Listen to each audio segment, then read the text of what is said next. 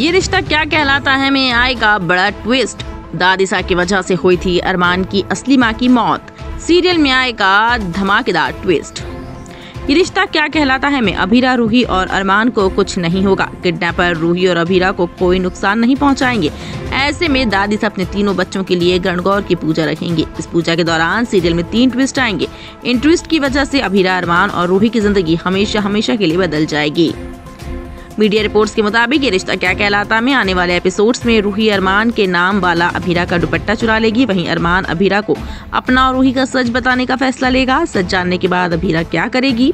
वो अरमान और रूही का सच जानने के बाद कैसा रिएक्ट करेगी, ये सब आने वाले एपिसोड्स में पता चलेगा। वहीं एक रिपोर्ट के मुताबिक आने वाले एपिसोड्स में कावेरी पोदार का भी सच सामने आएगा। अरमान को पता चलेगा कि दादिसा की वजह से उसकी असली माँ की मौत हुई थी। अभी तक अरमान दादी दादिसा के प्यार के लिए तरस रहा था। लेकिन जब उसे पता चलेगा की उसकी माँ की मौत दादी दादिसा की वजह से हुई है, तब उसका क्या रिएक्शन होगा, ये ये आने वाले एपिसोड में पता चलेगा।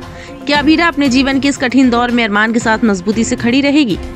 क्या इससे उनके बंधन और मज़बूत हो जाएगा? इन सारे सवालों के जवाब तो आपको आने वाले एपिसोड्स में ही मिलेंगे।